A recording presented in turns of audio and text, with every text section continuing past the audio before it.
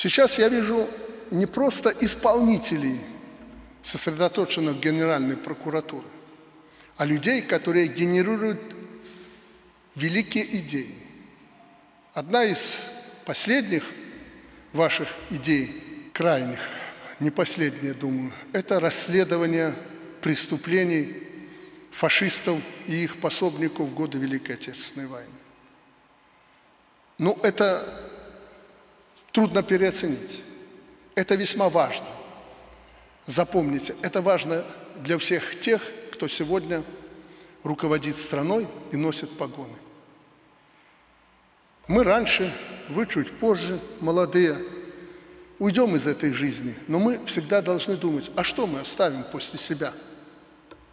И вот эту память о тех далеких временах, а в этом зале нет ни одного человека, который прошел бы через те события. Но мы это знаем, потому что мы ближе были к тем зверствам, к нашей победе.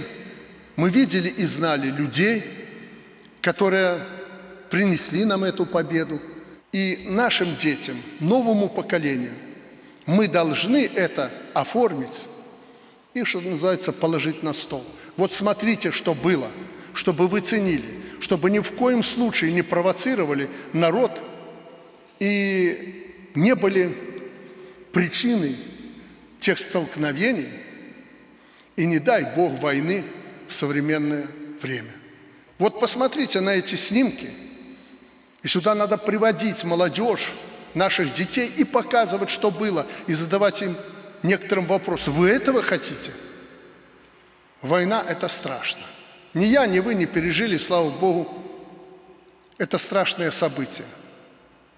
Но я все чаще и чаще говорю в связи с тем психозом, который развернулся на фоне еще одного крупного психоза коронавируса – психозом разжигания в Европе войны, мы опять оказались в эпицентре этих событий.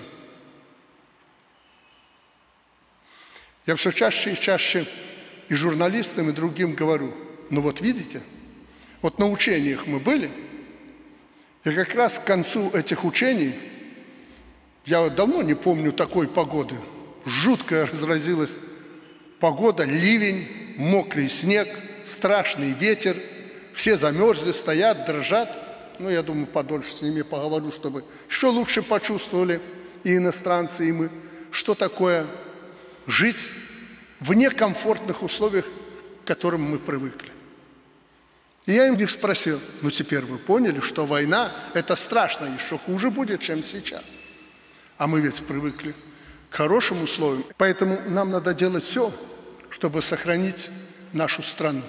Но если я всегда народу открыто это говорю. Мы, люди в погонах, первыми пойдем, чтобы защитить наше Отечество. Я обращаюсь к вам, чтобы вот этому молодняку вы передали весь свой опыт, пока вы живы, здоровы и работаете. Без вас они не смогут решать те задачи, которые будут стоять перед нами. Да и вы еще хлебнете в этой жизни. Вы видите, что творится вокруг нас, и чтобы нас взорвать, будут делать изнутри. Как будут делать? Не я, не генеральный прокурор, не вы этого в полном объеме не знаете и знать не можем. Но мы должны быть к этому готовы. Это самое тяжелое, когда ты знаешь, что тебя будут давить, качать, но не знаешь, когда и в какой форме это произойдет. Поэтому надо быть начеку. Руководители областей, прежде всего прошу, чтобы вы, не меньше, чем Генеральная прокуратура, были готовы защитить мир в нашей стране. Андрей Иванович, спасибо вам огромное за то, что вы по-настоящему начали руководить. Я очень хотел бы самой лучшей прокуратурой нашей современности. Спасибо вам.